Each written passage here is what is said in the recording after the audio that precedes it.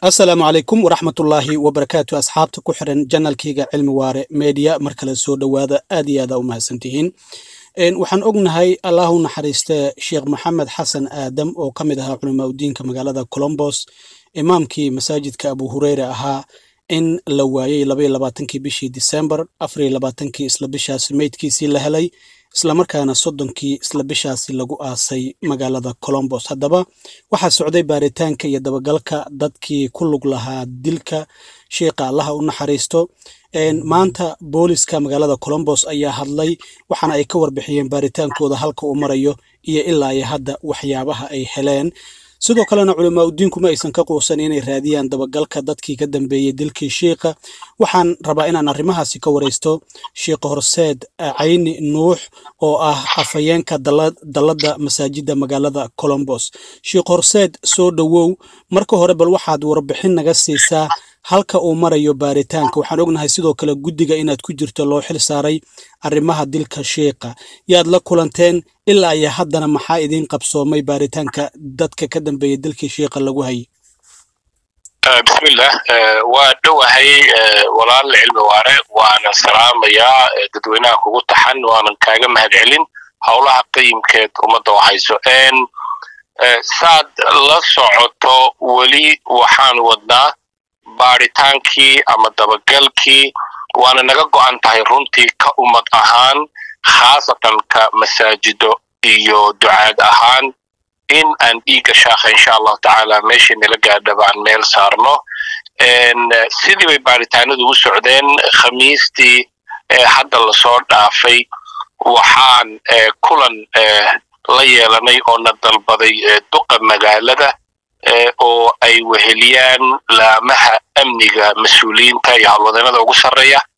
Waxaa kaloo kulanka goobjoog ka ahaa haweeney dhowaan loo doortay in bilayska magaalada colombos ay maaragtay mas'uul u noqoto.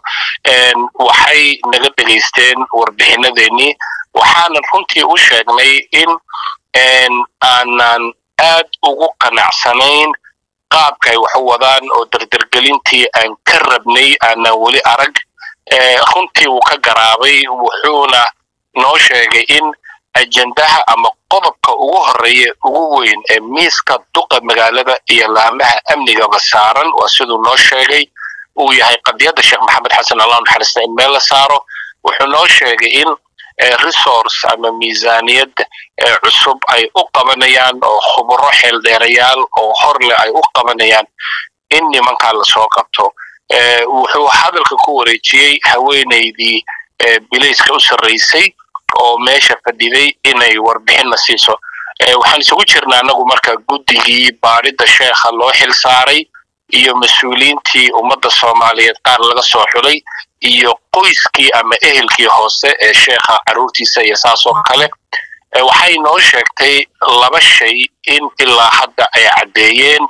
Mid waxay tahay sheekha inaan loo dilin arrimo ku lug leh diintiisa ama islaamnimadiisa oo waxaan hadda islamophobia la yidhaahdo dareenkanka dhanka dadka muslimiinta taas waan caddaynay waanaan soo afjarnay dheheen waxaan kaloon soo afjarnay bay yidhaahdeen baaritaan dheer kadib inaan sheekha loo beegsan cunsurinimo oo xagga midabkiisa ama jinsiyadda ama qowmiyadda uu ka soo jeedo. Labadaas waan soo afjarnay. Waxay marka hadda ku zoom garayeen oo kaamirada ku foorariyeen waxa saddexaad iman kara. Intaasay noo sheegeen waxay kaloo inoo sheegeen inay rajo weyn ka qabaan in runtii arrintan ay maaragtay ka salgaari doonaan. Ninka maaragtay baadhaha khaaska ama detectiveka isaguna runtii wuxuu noo sheegay in maaragtay ay hawshu si fiican u socoto. Maanta maanta waxaa jiray shir jaraa'id oo si wada jir ah ay u qabteen lead investigatorka ama ninka hogaaminaya baaritaanka dilkii shiiqan ciidamada baaraya qoyskiisii iyo adinkoo culamaa udiinkii ah. Shirkaasi muxuu ku saabsanaa lead investigatorkana maxay ahaayeen waxyaabaha uu soo bandhigay oo uu sheegay oo ilaaya hadda cadeymaha hordhaca ah oo ay hayaan? Waa saad sheegtay salaadii jumca ka hor yaa masaajidka ibnu taymiya waxaan ku qabanay war saxaafadeed uu ka soo qayb galay horjoogihii dambi baarayaasha iyo qolada la yidhahdo crime stoberska oo inta badan iyagu u dhexeeya laamaha amniga ama bilayska iyo dadka. Waa qolada mar walba tibka ama lacagta abaalmarinta ah ee qofkii xog keena ku wareejiya maadaama dadku inta badan ay xasaasiyad ka qabaan inay toos ula xiriiraan bilayska crime stobers baa la yidhaha waxaa kaloo joogay looyarkii loo qabtay sheekhii qoyska matalayey iyo dalladii masaajidda iyo qoyskii intaba waa joogeen. Shirka iyo hay'adda keer mas'uuliyiintooda ka hadlay meesha. Shirku laba weji buu lahaa. Mid waxay ahayd in dadka loo sheego oo la yidhaahdo lacagta hadda aanu siinayno waa labaatan kun oo dollar. Qofkii xog tilmaamaysa hawshan cid kuligu lahayd noo keena. Midda kale gaadhigii sheekhu iska lahaa ayaa waxay noo sheegeen in ay kaamirada ku hayaan isaga oo uu wado qof markaas glavis cadcad gacmaha ku sitay qaarka sarena huud ama maaragtay marada laysaga dado markaa midabkeedu gaduud yahay uu sheegay. Qofku xitaa inuu madow yahay siyaabo kalan u maqalay in marka intaa qofkii xog ku soo dari kara ay caddeeyeen in ay lacagtaas ay ku wareejinayaan adigu intaasaa ugu muhiimsaneed iyo in maaragtay maamul ahaan columbus ay ka go'an tahay laamaha amnigu in ay soo afjaraan. Waxaa marka xusid mudan runtii in anigu shaksiyan anoo ka mida guddiga loo xilsaaray hawshaas afhayeena oo ah dalladda sheekhana saaxiib hoose la ahaa hawshan u fara dhuudhuuban in runtii aan dadka soomaaliyeed ugu bishaaraynayo in calaamadaha aan haynaa ay waawen yihiin runtiina aan ku rajaweynahay daalimiinta in la soo qabto sida ugu dhaqsaha badan insha allah sheekh dadka soomaaliyeed waxay leeyihiin maalin kasta ayaa dad la dili jiray sheekhana kama duwana dadkii la dili jiray. Mana laga yaabo in la helo xogta ama la soo qabto dadkii ka dambeeyey dadkaasi maxaad leedahay arrintaasi weli aaminsan oo dhahayo sheekhan ma u malaynaya in la heli doono dadkii ka dambeeya dalkiisa wallaahi cilmi wara walaal si daacada bulshada soomaaliyeed kolkii u wada hadasho khaladaad waxaa jira innaga soomaali ahaan xaggeena ah oo loo baahan yahay inaan qaadano waxaa ka mid ah way jiraan wiilal fara badan oo soomaaliyeed oo nalaga dilay oo aniga weliba dadkii ugu horreeyay meydkooda dul istaagay ama maydhe ama godka geliyeyba aan ka mid ahaa. Waa sax laakiin laba arrin baa jirta.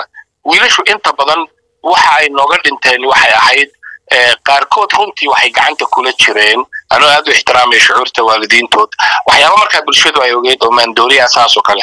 Qaar waxaa jira wiilal fiican ahaa laakiin la socday niman markaa rag kale ay isu dhaarsanayn isxabadeeyeen ceebta kale ina haysata waxay tahay. Laamaha amniguna hadda runtii ay ogaadeen. Bulshada soomaaliyeedna loo baahan yahay inay garwaaqsato ka korto.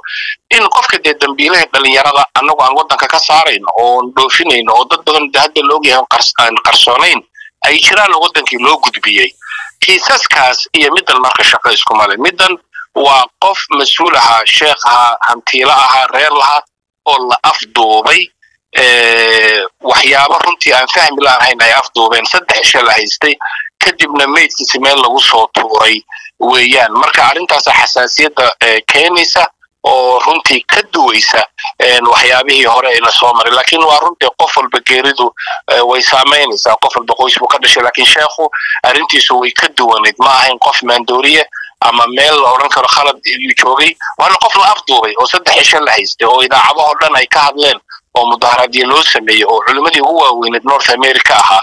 Dalladda la yidhaha ayaanu soddon iyo lix masaajid maamushana ee hadda loo doortay inuu noqdo xoghaynteeda. Marka minnesotan hadda ka soo noqday xitaa dadku ay weydiinayeen taasaa ka duwaysaan leeyahay ugu dambayntii sheekh muuqaalkan lead investigatorka ama ninka hogaaminaya baaritaanka dilka sheekha uu soo bandhigay oo ah gaarigiisi inuu qof kale waday qoyskiisana ay u xaqiijiyeen qofka gaarigaasi waday inuusan allahu naxariistee shiiqi ahayn.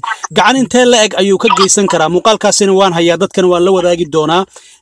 Gacan intee la eg ayuu ka geysan karaa ayaa is leedahay baaritaanka lagu hayo dadkii ka dambeeyey dilka sheekha wallaahi waxaan is leeyahay muuqaalkaasi wuxuu ka mid yahay waxyaabo waxaan aaminsanahay intaa ka waaweyn inay lead investigatorsku ay hayaan oo saan la soconno runtii baaritaanaa socda dad fara badan oo xitaa laamaha f b i da ay u timid baan garanaynaa kaamerooyinkii o dhan bay wada qaateen. Intana waa un iska hordhac laakiin runtii waxaan aaminsanahay marka la eego meesha sheekha meydkiisa aan ka helay iyo goobaha u dhow guryo iyo goobo ganacsi kulli kaamerooyinkooda way kala baxeen videoga waanay ishay ku hayaan. Marka annaga runtii waxay noo sheegeen waxyaabo badan oo muujinaya in la soo afjari doono.